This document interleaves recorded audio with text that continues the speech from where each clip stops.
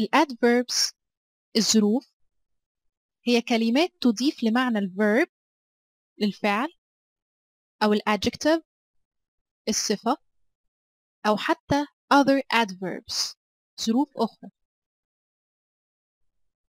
Peter understands quickly. يفهم بيتر بسرعة. هنا وصف الظرف quickly الطريقة التي فهم بها بيتر The weather is very hot. الطقس حار جدا. هنا استخدمنا الادverb أو الظرف very بمعنى جدا لإضافة معنى للadjective hot. The children sing extremely well. يغني الأطفال بطريقة جيدة جدا. وهنا استخدمنا ال adverb extremely لإضافة معنى آخر لل adverb الثاني well. وهناك أقسام عديدة لل adverbs. adverbs of manner. وهذه ال adverbs تبين لنا كيفية حدوث الشيء. How something happens. وعادة ما يأتوا بعد الفعل الرئيسي. The main verb. أو بعد المفعول به. The object Examples It rained heavily. لقد أمطرت بشدة. He answered quickly. لقد أجاب بسرعة. She spoke slowly. لقد تحدثت ببطء.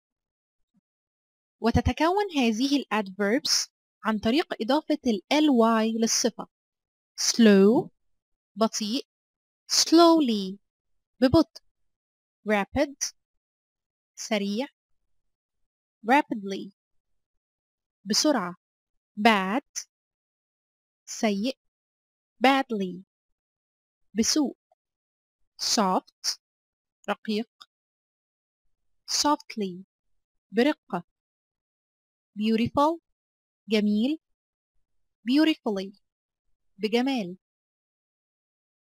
منى behaved softly. لقد تصرفت منى بطريقة رقيقة. The train moved quickly. تحرك القطار بسرعة.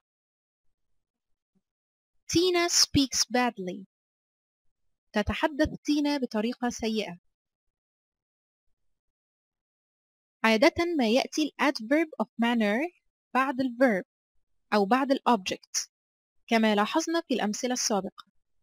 ولكن لو كان هناك حرف جر preposition قبل المفعول به the object يمكننا وضع ال adverb of manner قبل ال preposition أو بعد ال object examples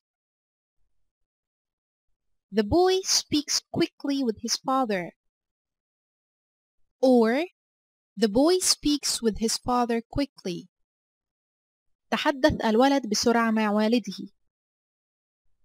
نلاحظ أن الجملة الأولى وضعنا الادverb قبل الpreposition ولكن في الجملة الثانية وضعناه بعد الobject وهو father.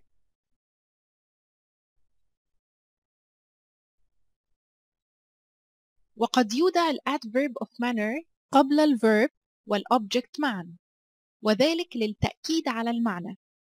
Emphasis. He loudly spoke to his father.